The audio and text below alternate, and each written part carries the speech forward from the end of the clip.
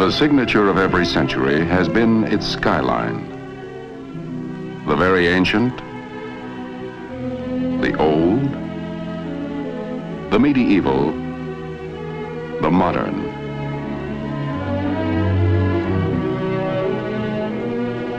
Imprints of man's never-ending path of progress silhouetted against the ageless canvas of the sky. Our day, our times, our signature, our skyline. Metal fingers beckoning to the invisible, calling to sound the ear cannot hear and sight beyond the range of the unaided eye. Our era, the era of television. The dream of television had persisted for centuries. The human eye is a miraculous instrument, perceptive, sensitive, forever tuned to the pulsating wavelengths of light. Yet the eye is hemmed in by horizons. It cannot see over a hillside or beyond the haze of distance. To extend the range of human eyesight, man developed marvelously sensitive instruments, binoculars.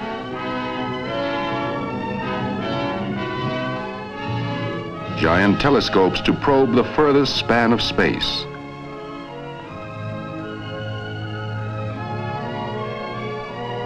But always there were barriers, distance. Could man fling pictures to the sky and gather them in at a distant point? It was a provoking challenge. And nowhere did the challenge provoke more unending experiment and research than at RCA. As far back as the 1920s, two men took up this challenge. They shared the irresistible dream of television. David Sarnoff, chairman of the board of RCA, Dr. Vladimir Zworykin, Honorary Vice President and Technical Consultant of RCA. Dr. Zworykin, every now and then uh, I like to put the calendar back and uh, remember another important occasion when you came to my office. You were a good salesman, and I was a good dreamer. We talked about broadcasting moving images by electronics. And I remember that I asked you what it would cost to develop an all-electronic television system. Do you recall your estimate? Of course I remember. I asked something like $100,000. Your estimate missed by quite a bit. It cost RCA more than $50 million to create, uh, develop, and introduce America's first all-electronic television system. And since that time, as you know, RCA has spent another $70 million to pioneer and develop the compatible color television system. But how well that money was spent. We succeeded in extending human sight far beyond the horizon. Yes. This is wonderful thing about television. The extension of our sight. You are better acquainted with this progress, General, than anyone because of your participation and leadership in so many phases of television development. It was nearly 30 years ago when I came to your office with that tube, the first eye of television. Yes, I well remember it. Nearly 30 years ago. And what a great invention this tube has become. It certainly has fulfilled its destiny. Well, General, this is the grandfather of the pickup tube. Do you want to see the newest grandchild? Well, I'm all for grandchildren. Let's have a look at it. Well, here it is. Well, this certainly looks very interesting. What do you expect this grandchild to do? Well, that's what we call miniature Vidicon and I hope eventually it will replace all the existing pickup tubes for all the purposes. Well, that's very interesting and certainly very promising because what we need to do is to reduce the size and the cost of these components so that television, color television, both at the transmitting and the receiving end, may be within the reach of everyone. That is my hope. The turning point came in 1923 when Dr. Zworykin invented the iconoscope. This tube, after years of further development, became the image orthicon, the electronic eye of the modern television camera.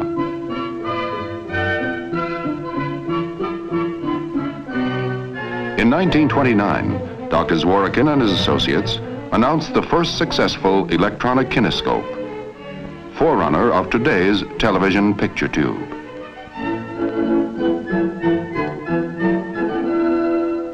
The circuit was complete. All electronic television was achieved. It worked. How?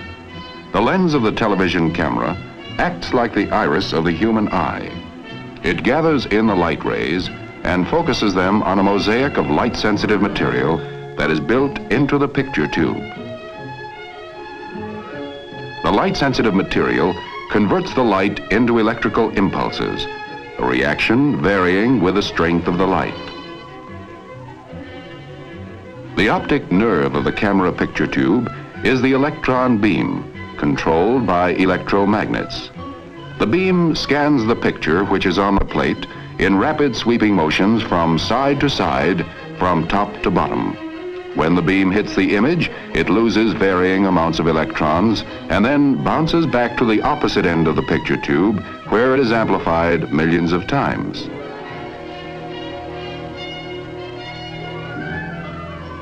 It is led off to the transmitter in the form of electric current.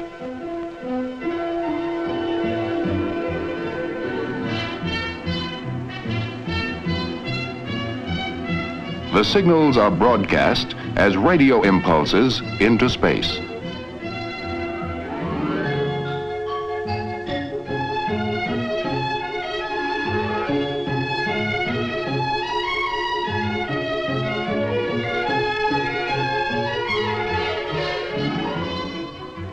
Of the receiving set is the kinescope. Here, the action is reversed. The stream of electrons, synchronized perfectly with those of the camera tube, literally paints the picture information on a chemically treated screen line by line. The glow is bright when the beam is strong, less bright when it is weak. Thus, the picture is reassembled. 1931. Atop the Empire State Building, the National Broadcasting Company, a service of RCA, erected the transmitting antenna for experimental television station W2XBS.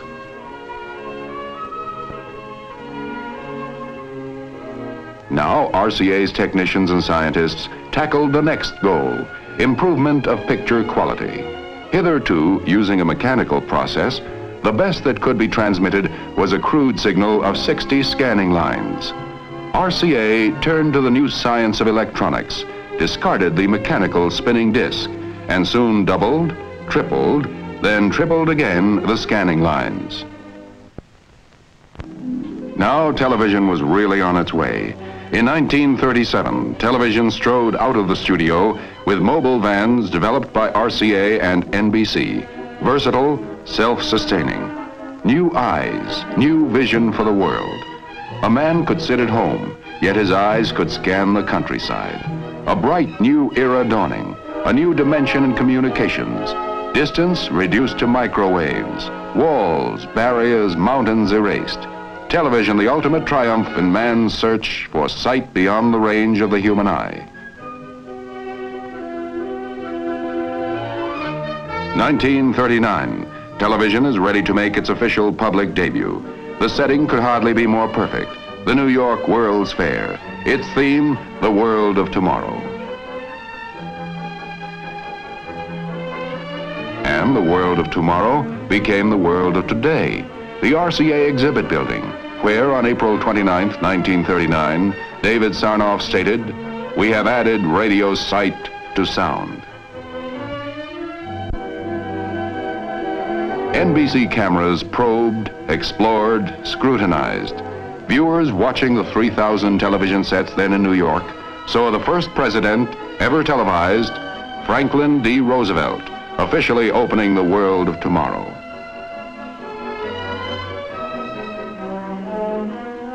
Via television, the viewers toured with the King and Queen of England through Pavilion and Midway. Day by day, television produced new adventures, new vistas, new excitement, new thrills. NBC presented the first baseball game ever televised, August 1939.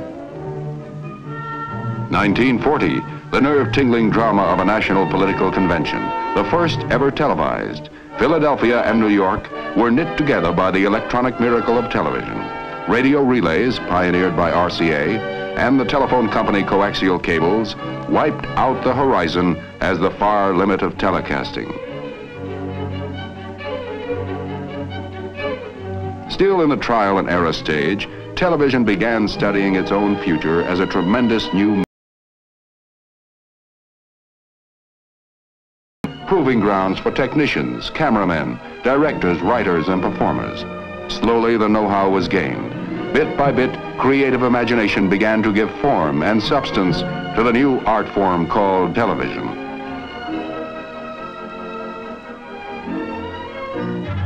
Nineteen forty-one, a fateful year, war, and the beginning of a four-year blackout for commercial TV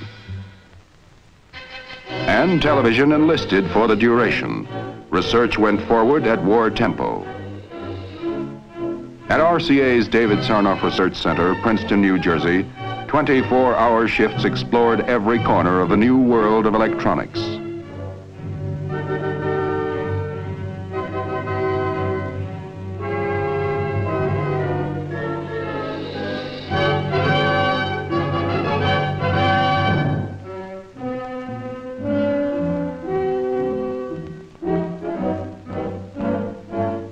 For submarine detection. The sniper scope that made it possible to see a target in darkness. Thus, the progress of perhaps a peacetime decade was compressed into four short years. 1945, the war over.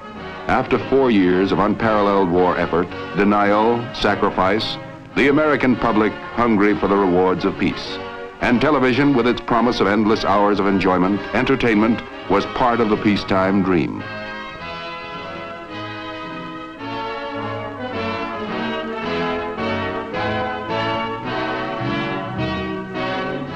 RCA, although 1949, an historic television first, a presidential inauguration. As Harry Truman took the oath, the event was a dynamic industry employing more than a million. Television, an unparalleled blending of science and art, invention and engineering, private incentive and public service. By television, American business has found a most effective advertising medium. And in turn, advertising has provided the resources that sustain the standards of programming and permit the never-ending research that is the heart of the television industry.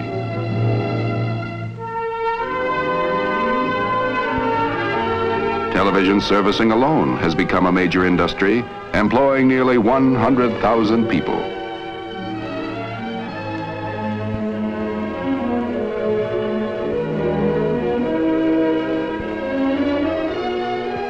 Yes, in little more than a wink of time, television has entered our homes, our lives, imprinted new silhouettes on our skyline. And all this has been just the beginning. There was still another dream to be realized. Still another dimension to be added. Black and white television had been the herald. It put millions of TV sets into our homes, built hundreds of TV stations, created an industry, an art, a public service, an exhilarating component of our American way of life.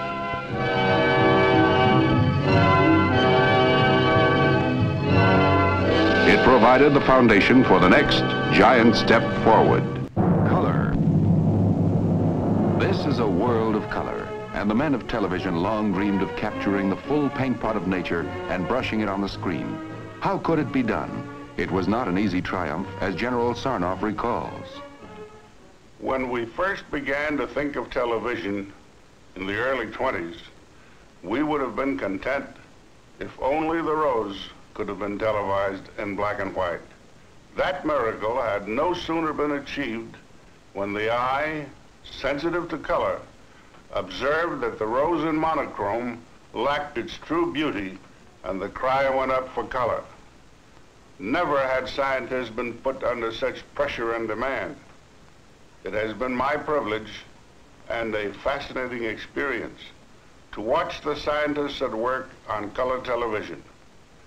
I marvel at their accomplishment in bringing into focus the principles of radio, optics, electronics, photography, chemistry, and many other essentials so that they might all work together to make color television practical. I congratulate the RCA scientists, researchmen, and engineers who pioneered and developed this new science and art and then created the compatible color television system and the famed color picture tube. Color. Color, the touchstone of reality, the vivid, pulsating miracle that gives substance to shadows. Beauty, grace, and enchantment to a picture. Problem, how to harness a stream of electrons for color. Early, General Sarnoff had set forth the fundamental goals for color television. First, it must be all electronic. Second, it must be completely compatible. These were the goals. The road was long, difficult, but it led to one of the historic inventions of our times, the RCA tricolor television tube, the tube with the heart of a rainbow. The lens of the color television camera collects light rays in full color from the scene being televised. Within the camera, an ingenious system of mirrors breaks down the light rays into television's three primary colors, blue, green, and red. They are focused through the lens system to the special camera tubes provided for each primary color, and the primary color signals thus produced are simultaneously processed for transmission. By the miracle of compatibility, color programs can be seen on standard black and white sets without any change or adjustment.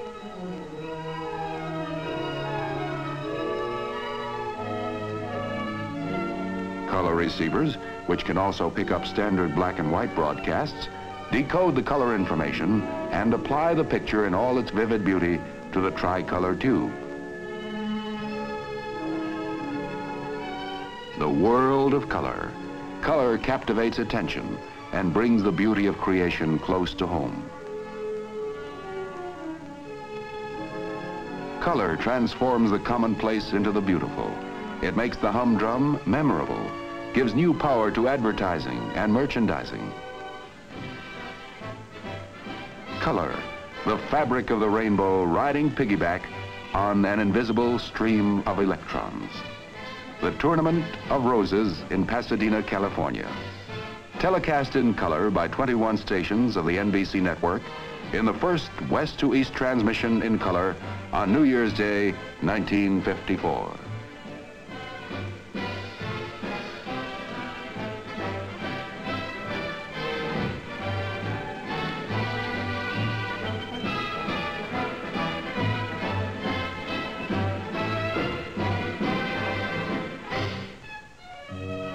The glory, all the reality of nature.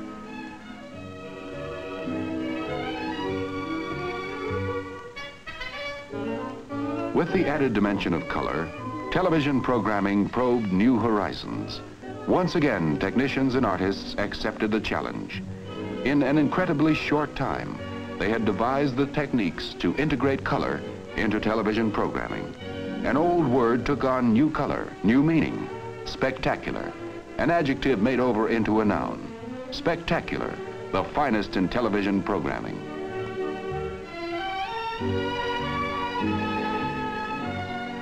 Into the home came the greatest in drama, such as The Four Poster, starring Hume Cronyn and Jessica Tandy.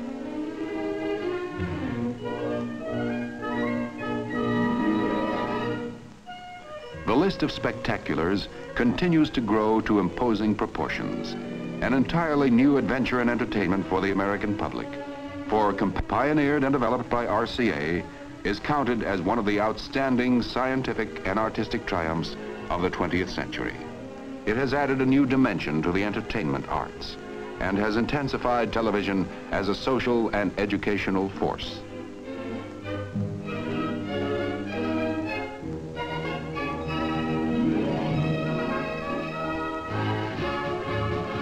Mobile units, in a coat of many colors, transmit outdoor color telecasts, adding new sparkle and new buoyancy to television coverage of great sporting events. The first World Series ever color televised, 1955.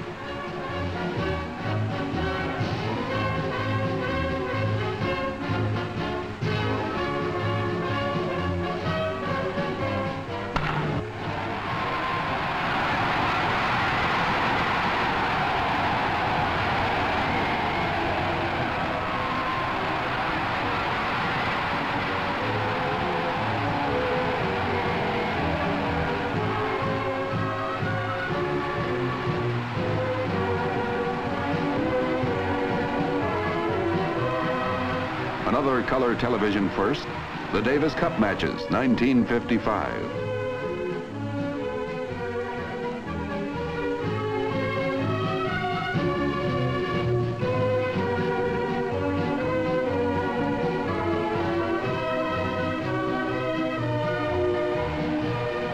Football, the youngest art form, the easiest understood, the liveliest, the brightest, television full and captivating color.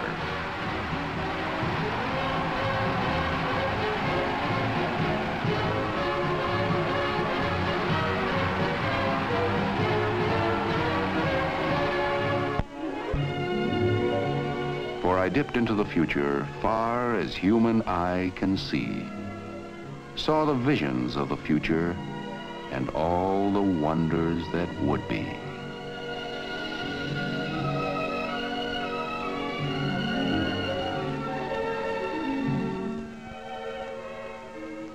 One day through television, the entire world will stream into our living rooms with the velocity of light.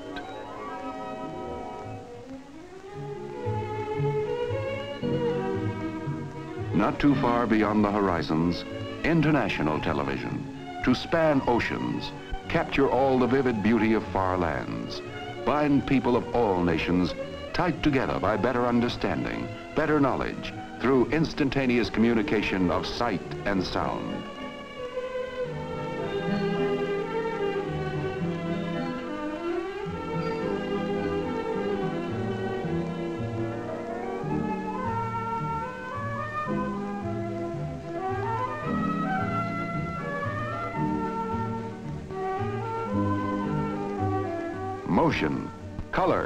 Vibrancy, people.